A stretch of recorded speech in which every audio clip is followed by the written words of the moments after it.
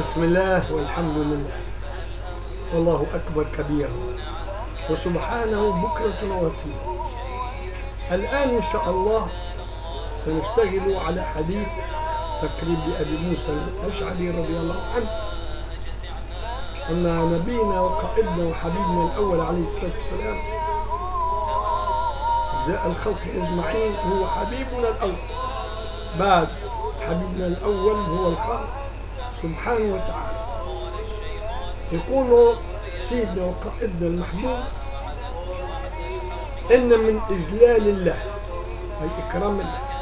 طب حقيقة تكون عندك نية وسلوك إكرام للرحمن. أن تجل كل مسلم شابه اشتعل رأسه شيبا وازدادت حكمته قوته يعني إكرام بالشيبة المسلمة.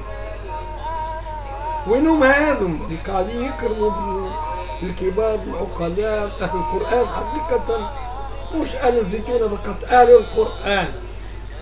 وين واللي فعلا في أمة الإسلام ولا خاصة بتونس أشكون اللي يحترموا أهل القرآن. حقيقة إحنا لسنا بحاجة لكن من معايير تقييم هؤلاء الذين يدعون الإسلام هل يعاشروننا بإكرام نستحقه؟ لسنا بحاجة إليه بل نستحقه لأن قيمتنا في التزامنا بالقرآن خاصة في تقدم سننا. تقدم سننا يزيدنا تثبتا بالقرآن. وهذا اللي عشناه بفضل الرحمن كلما تقدمنا بالسن كلما زدنا تلذذا بفقه القرآن وتعليمه لكل إنسان راغب في ذلك التعليم.